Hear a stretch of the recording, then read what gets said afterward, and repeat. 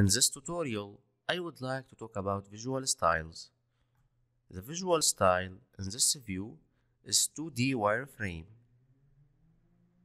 You can change click, conceptual, rotate, shift, and press on the wheel of the mouse. Click, hidden, hidden lines. Hide all hidden lines. Okay, hidden and 2D wireframe. You can see the difference. Uh, realistic, like reality. Okay. Shaded.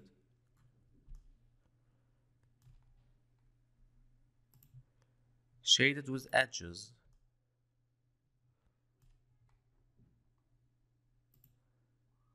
Shades of gray. Sketchy.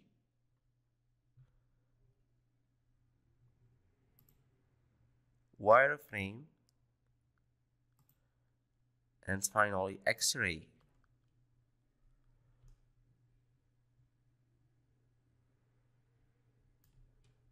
The same options in View, Visual Styles,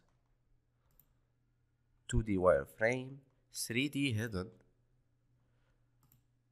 and 3D wireframe, and others.